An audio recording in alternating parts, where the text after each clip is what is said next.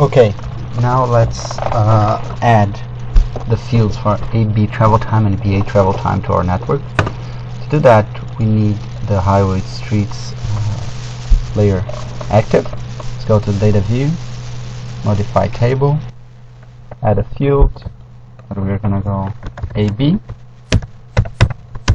travel time, and another field, or the field's gonna be real 4 bytes second, real 4 bytes as well.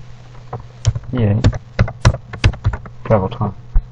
Press OK, confirm, because it's a definitive change. Yes.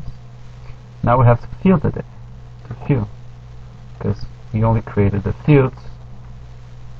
It's empty. We need data there. So let's open the data view. Put the right button on top of the field that we want to fill. Field. Formula. It's hdist divided by AB speed times 60 because we want minutes, right? Okay. Okay. Yes. That's done. Let's do BA. Again, right click on the name. View. Formula. Let's use a little trick here because the only thing that changes is this name here. Press OK. OK. Yes. That's done. We can close here. And there.